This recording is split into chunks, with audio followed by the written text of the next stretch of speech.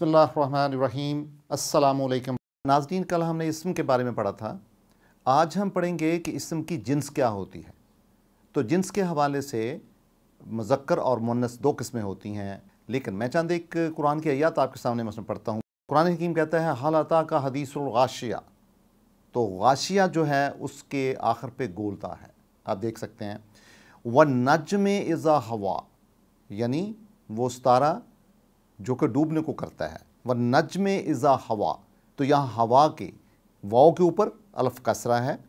वमा दल्ला साहबकुम वमा गवा, और गवा के ऊपर, अगेन आप देखेंगे एक आलिफ है आलिफ कसरा है।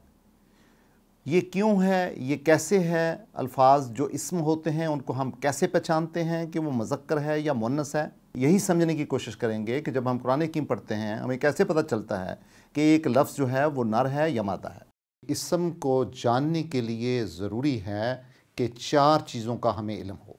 नंबर एक, इसम की जिन्स क्या है? यानी वो नर है या मादा है? नंबर दो, इसम वाहिद है या जमा है? नंबर तीन, इसम ख़ास है या आम है? उसको हम वसत बोलते हैं अरबी में।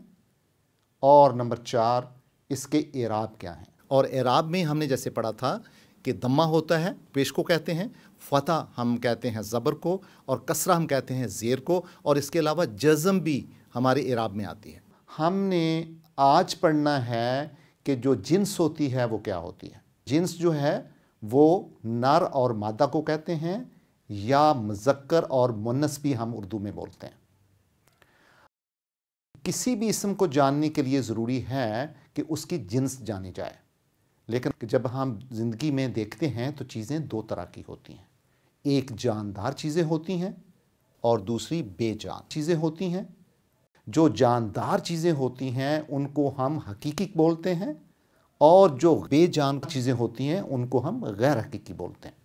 आज के सबक में हम गैर हकीकी जिन्स पे ज़्यादा गौर करेंगे।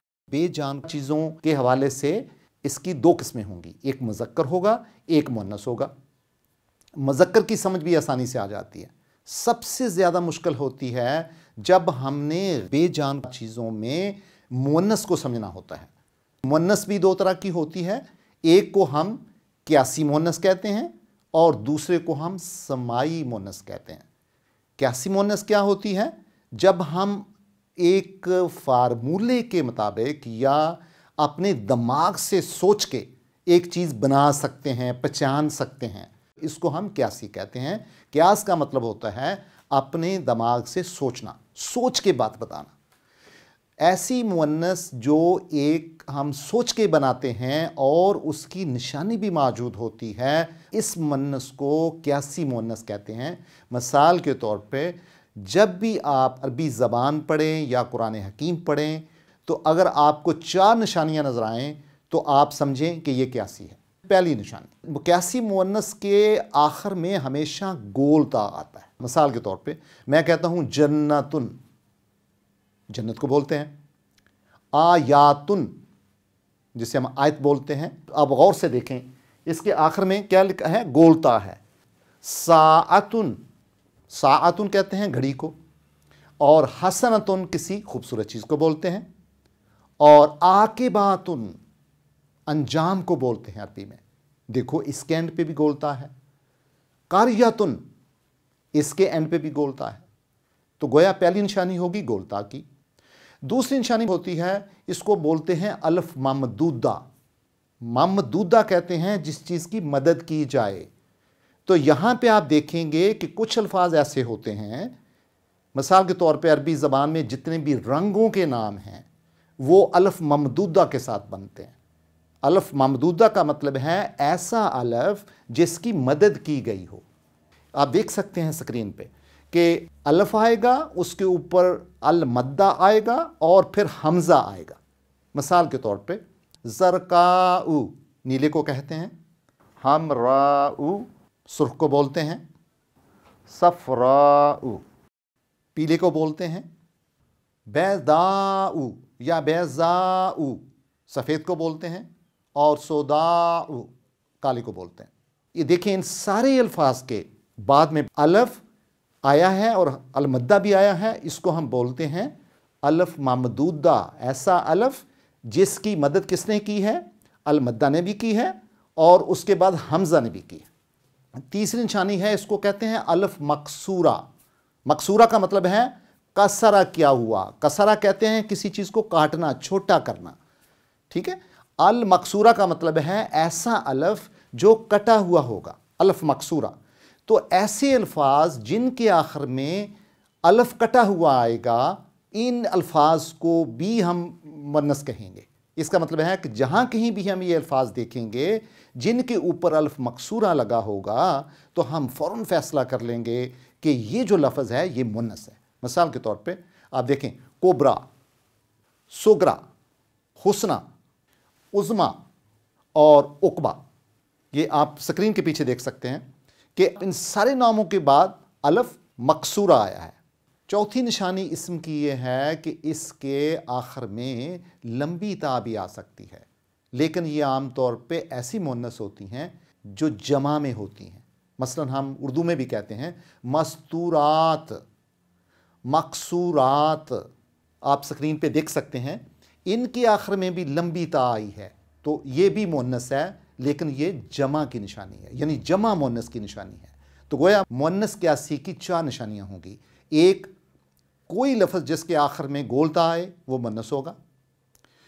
कोई लफ्ज़ जिसके आखिर में अल्फ ममदूदा आए मनस होगा। कोई हरफ अरबी का जिसके आखिर में अल्फ मकसूरा आए, मुन्नस होगा। और कोई हरफ ऐसा जिसमें लंबी ता आए, वो अक्सर मुन्नस जमा होगा।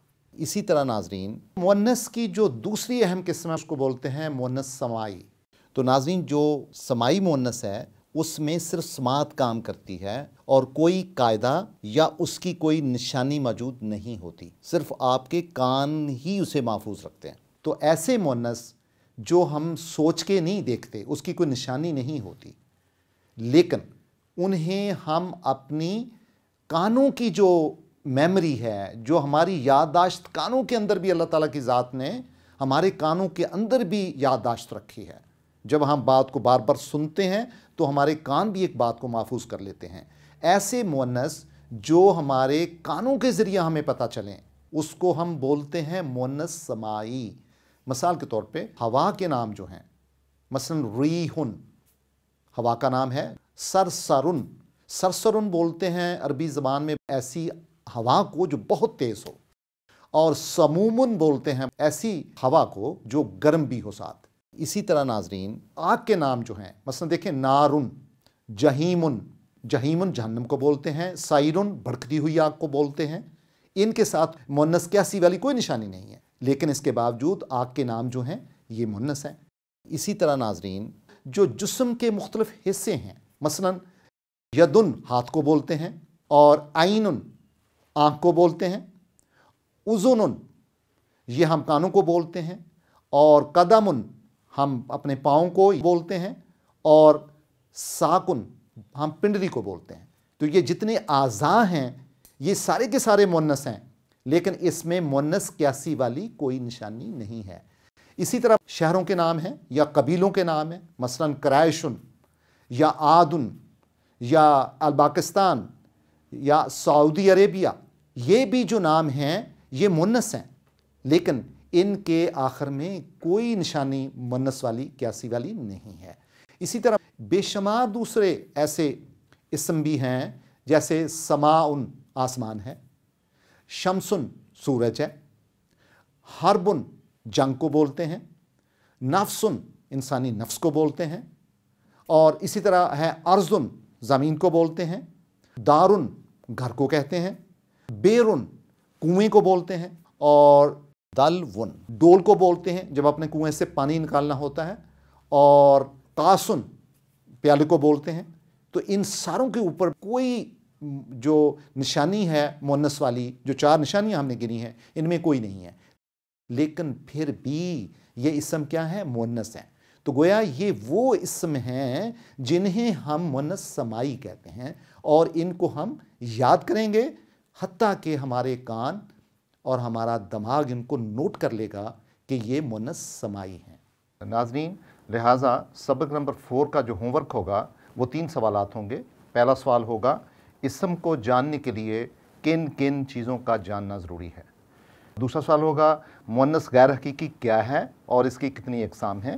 नाजरीन सवाल नंबर तीन होगा कि मुनस क्यासी की कौन सी मिसालें हैं? बहुत शुक्रिया।